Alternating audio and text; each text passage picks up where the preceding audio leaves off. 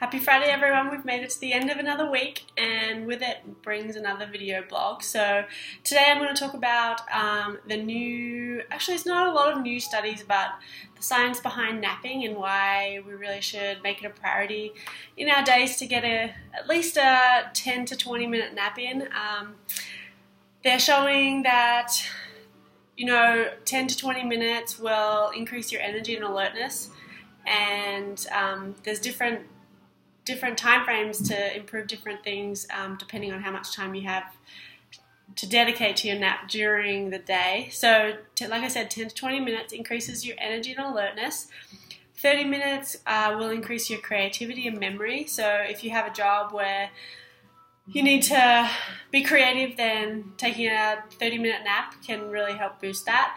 Um, between 30 and 60 minutes will increase your decision making. So I guess that's where the the saying comes from sleep on it. So maybe not sleep overnight, but sleep for 60 minutes and um, then think about the decision that you have to make pretty pretty good reason to take a nap, I think. And then 90 minutes um, will increase your creativity um, and also your emotional and procedural memory.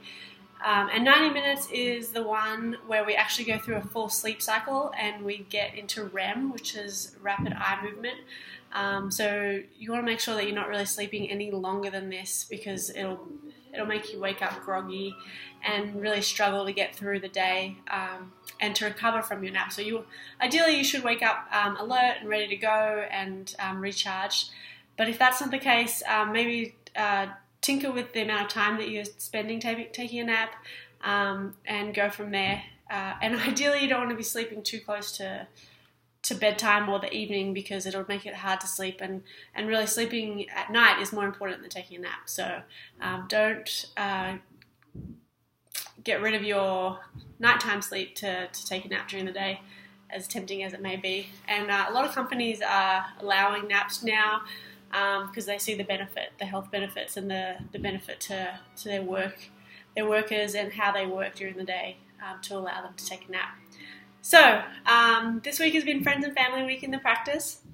Uh, we've had a pretty good response. Um, I've had some, some friends and family come in, which has been amazing. I've been, um, it's great to meet them all.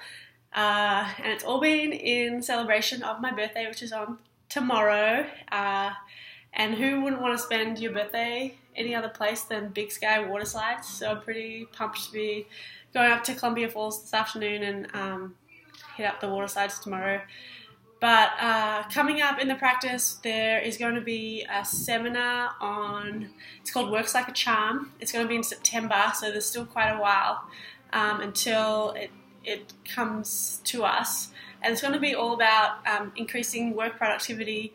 Um, yes, I'll be talking a little bit about napping, um, but if you have anyone in your business or a business that you know that would could benefit from it, please let me know and I can give you some emails to, to send out to your colleagues or to send to the businesses um, to alert them to the event. Um, it's going to be at the practice. There will be some refreshments and things like that. So um, yeah, it's going to be September 16th. You might have got an email about it already, um, and if not, there'll be one coming out soon. So um, here's to another week. Summer's flying by and it's nearly done, but um, hope you have a great and safe weekend and I look forward to seeing you all soon.